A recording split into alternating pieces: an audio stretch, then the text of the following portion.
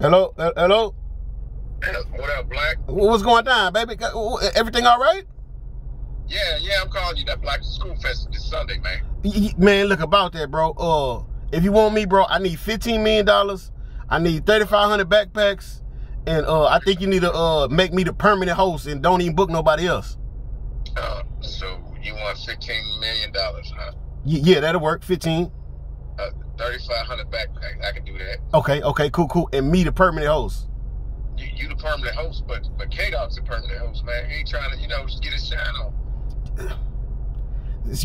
So, so you, these are my demands, bro. If not, I ain't coming. I ain't got time for that, bro. I see I got Texas Bread. I see you got DJ Quay. I see you got a whole bunch of artists performing, doing their thing. Come on, bro. How long you been knowing me, man? You know my. Come on, fam. Yo, yo, yo. Hey, have a great day.